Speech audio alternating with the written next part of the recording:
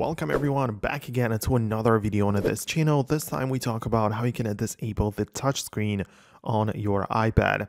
So let's get into it right now.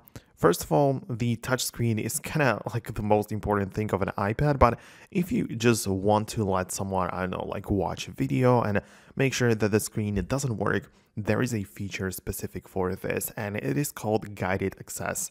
So you can easily find it inside of your settings.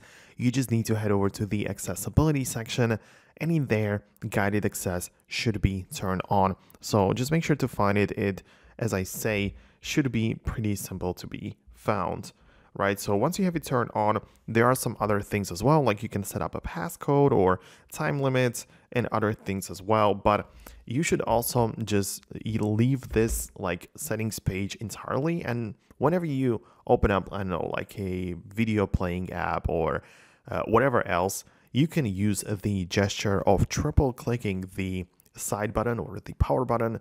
If you have an older iPad, the home button as well and this should enable the guided access.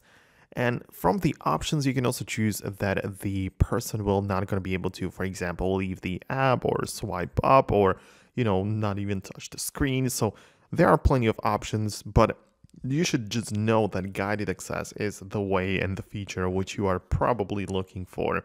So you can set it up the way that you desire, but as I say, this is the feature that a lot of people are interested in. So Thank you very much for watching. I honestly hope that you managed to get it to work and that you are happy with the result. If so, let me know below in the comments. You can also hit the thumbs up if you're not a commenting person. So yeah, thanks a lot. Uh, subscribe to this channel so you never miss videos in the future and I'm gonna catch you in the next one.